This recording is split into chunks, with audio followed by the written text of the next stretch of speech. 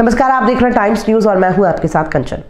Indore crime branch ने कार्रवाई करते हुए प्रधानमंत्री कार्यालय के डायरेक्टर के नाम के फर्जी पत्र के माध्यम से अवंतिका गैस लिमिटेड इंदौर में नौकरी दिलाने वाले आरोपी को गिरफ़्तार किया है।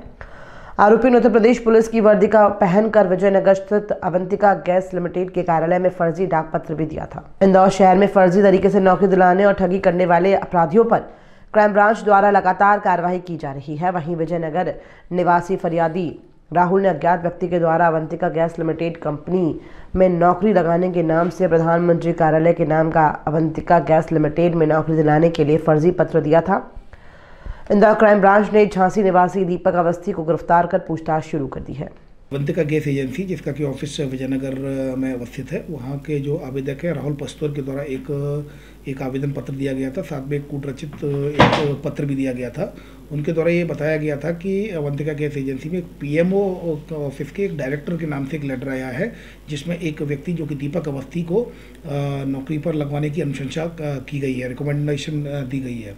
इस पर से चूँकि एक एक सिपाही दे, देने आया था लेकिन प्रथम दृष्टिया एक कूटरचित दस्तावेज़ लगता है। इस शिकायत पर राहुल पस्तौर, आवेदक जो कि अविंदका के एजेंसी में काम करता है, उसकी शिकायत पर थाना क्राइम ब्रांच पर कूटरचित धाराओं के धोखाधड़ी के तहत केस रजिस्टर किया कर इन्वेस्टिगेशन लिया गया था।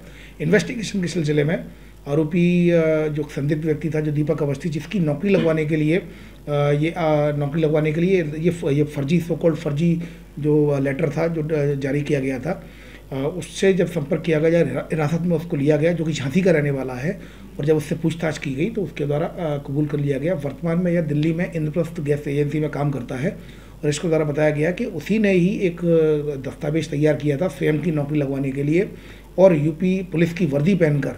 ये विजयनगर स्थित अवंतिका गैस एजेंसी में गया, और वो लेटर वहाँ डिलीवर किया गया, और उसके बाद फिर वो वापस आ गया।